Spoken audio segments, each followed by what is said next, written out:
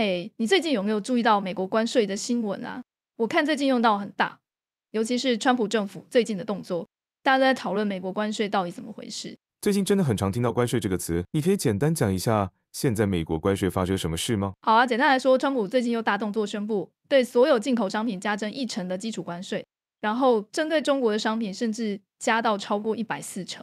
你敢相信吗？刚才这段 podcast 居然是由 AI 所生成的，马上教你怎么做。首先，打开 MasterBox 顶 AI 的网站，输入你想聊天的主题。这里我们就以这本《机器学习：从理论到实作攻略》这本书为范例。我们直接把书名当做关键字输入到这边的提示窗，接着等个几分钟，AI 就会自动帮你生成一段 Podcast。在下方可以看到 Podcast 的内容，如果你对内容不满意，想要修正也没关系，下面有一个编辑文稿，直接点入就可以编辑 Podcast 的内容。编辑完成之后，直接按下产生新的 Podcast 语音与连接，就可以重新生成一段新的 Podcast。接着我们来听听看生成出来的结果吧。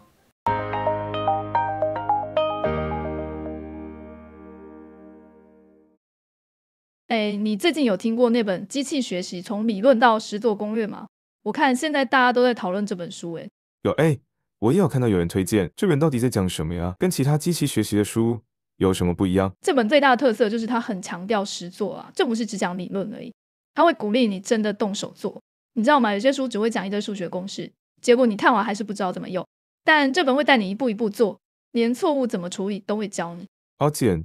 这样很实用耶，那它会不会很难啊？会不会要很强的数学底子才看得懂？其实不用太担心啦，它有设计一个系统化的学习路径，会用很多示意图，还有简单的范例，先带你进入机器学习的世界，然后再慢慢讲到监督式跟非监督式学习。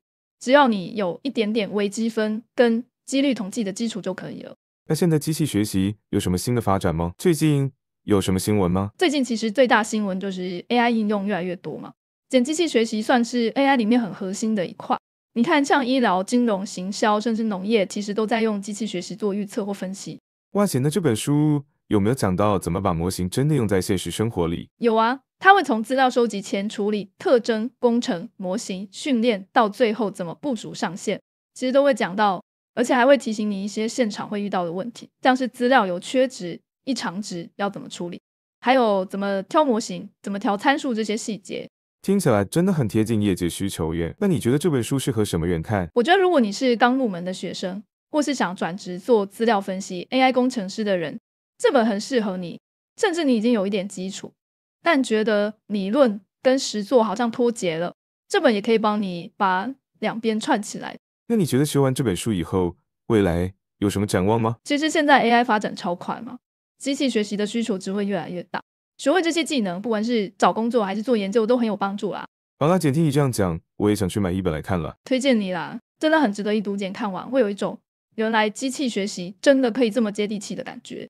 而且我听说有个 YouTuber 工程师的诗也即将开拍关于这本书的内容，到时候有影片可以搭配学，理解会更轻松。哇，那太棒了！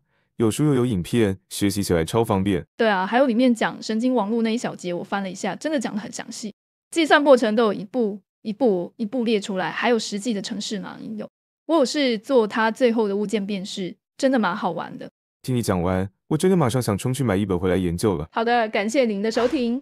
这里是全新概念的 Mixer Box AI 真 p 只要输入主题，AI 就会自动生成 Podcast。快来 Mixer Box 点 AI 斜线真 p